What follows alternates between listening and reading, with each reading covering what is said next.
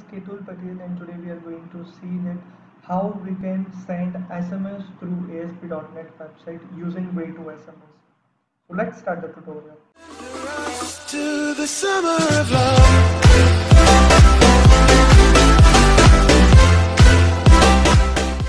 So this is the website for Way2SMS. You can find this link in the description. So if you are not registered here, you can register here from register now so it will ask for your name mobile number email address your gender date of birth city and the code. Regist once you have registered you can log in it using your credential your mobile number and the password. So once you have logged into way2sms uh, successfully signed up you need to go to this website that is way2sms api uh, the link is in description. You can find over there so first what you need to do is enter your email address here, uh, enter your registered mobile number and click on send API key on email.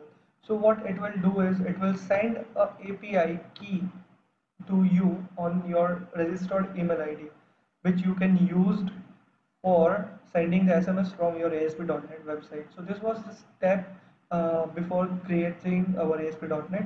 So let's move to the Visual Studio here uh, we are in our same project that is YouTube. So what we will do is uh, here in our solution in our project we will right click add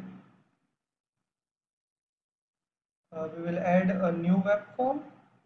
And let's name is send SMS so you can see that uh, web form is created. Now I already have uh, typed the code for the front end. So you can see this how the front end is looking. It is asking for your user mobile.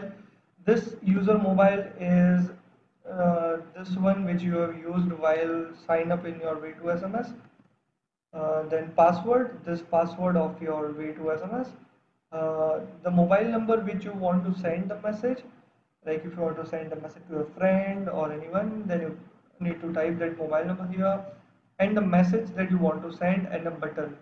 Now let's create uh, double click on the button and a void button click method will be created. So what first we will do is we will uh, take the inputs from the user. So first let's take the mobile number of way2sms enter your mobile number here. Then uh, sorry, as we are getting it from the user so we'll use text box one dot text. Same for password. So it is text box 2 dot text. Then string mobile is equal to text box 3 dot text and string message is equal to text box 4 dot text so we have taken uh, our four parameters from our front end to our backend.cs file. That is mobile number password the mobile of the receiver and the message you want to send. Now what you need to do is you need to create another string variable called key. And here you need to enter the API key send you which uh, the SMS API key send on your email ID you need to enter it here. Now create a string URL is equal to http s colon double slash sms api sms api dot com. Sorry dot engineering tgr dot com slash send slash question mark mobile is equal to now we need to pass our mobile field here. Then again uh, double colon and person password is equal to now we will pass our pass variable here. Again we will take the API key. So here type key is equal to and pass the key variable here. And after that we need to pass the message is equal to message. And at last we need to enter 2 that is uh, to whom we are sending. So here we will pass our to mobile and at last double colon and semicolon so this was our API uh, URL which we will use to send the SMS now after this what we will do is we will create a service point manager that is service point manager. Uh, you need to import a package for it. So you can see that uh, using system.net is the package for service point manager. So is service point manager dot service certificate validation callback is equal to delegate and return true so here semicolon and after this also we will pass semicolon. Now what we will do is we will pass our protocols uh, security protocols to the service point manager. So that is again we need to type service point manager dot security protocol is equal to security protocol type dot tls12 then pipe symbol again security protocol type dot tls11 again pipe symbol security protocol type dot tls and at last security protocol type dot ssl3 and we will end it with a semicolon uh, after we have created our security we have passed the security protocol to our service point manager. We create a http web request. So it is let's call it as request is equal to uh, we will cast it with http web request and uh, web request dot create and we will pass our url to this. So we will pass this url string over here.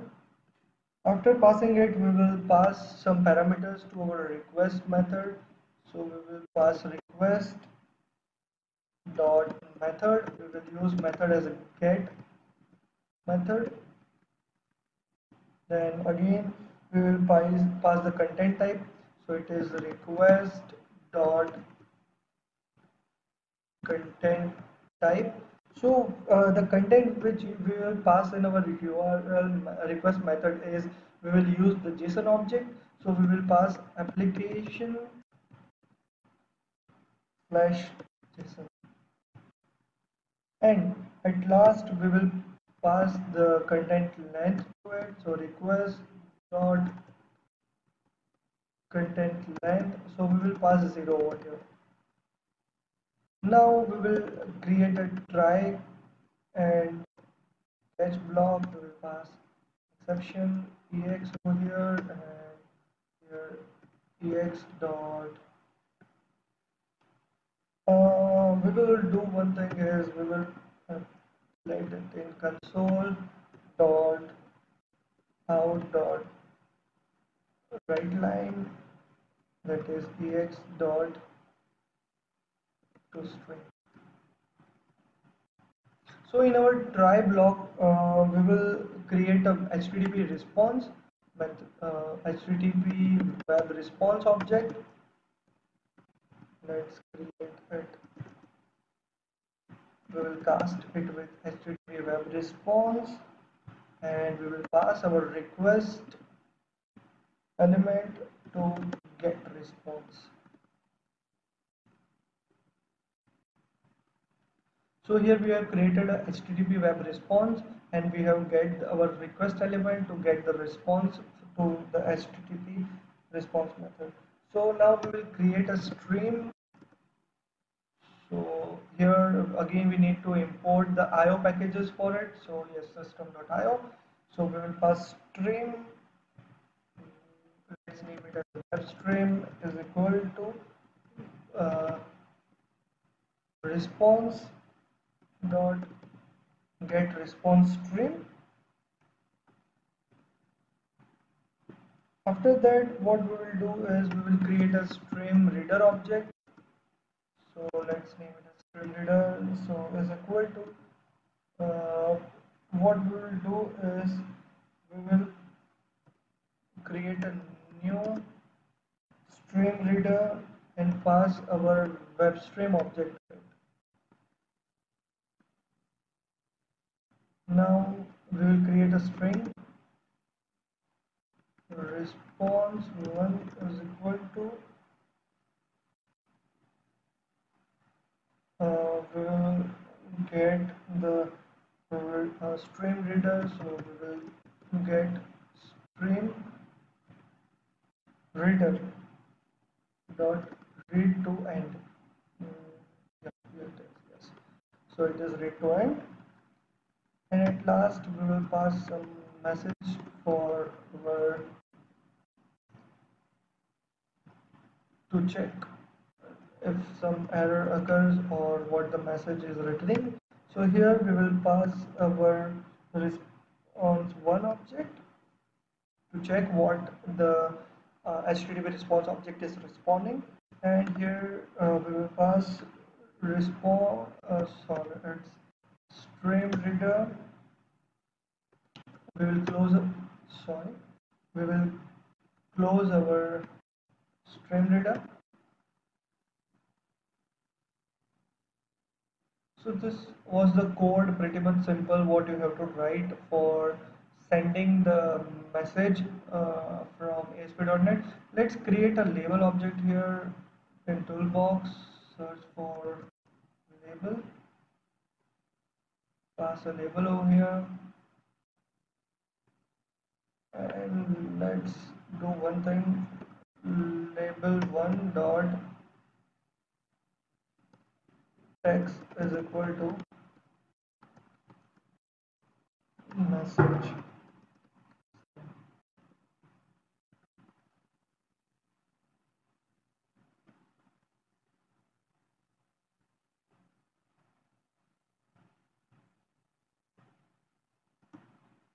So now we will test our application by running it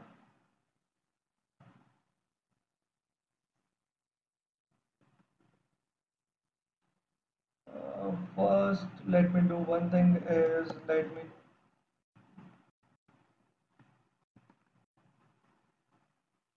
change the text mode to password because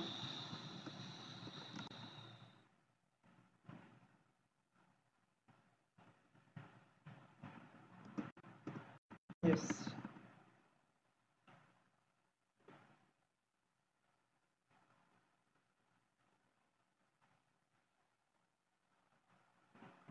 So let's run the application.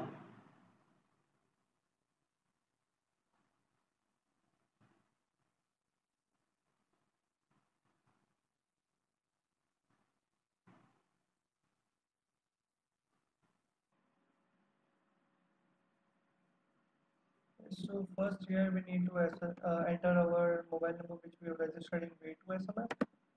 So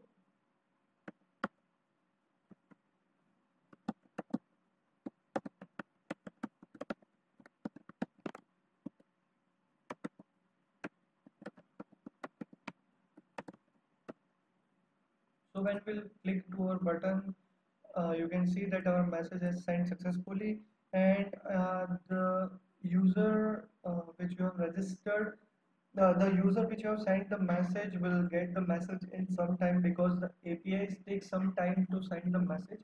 So it will not it will take some few seconds to send the message.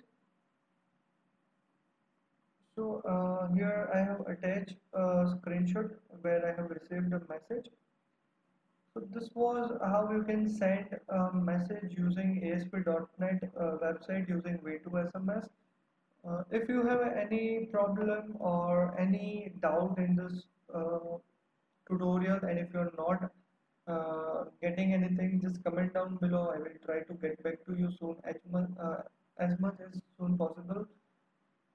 Till that uh, like the video subscribe to the channel and stay connected for more of the tutorial. Thank you for watching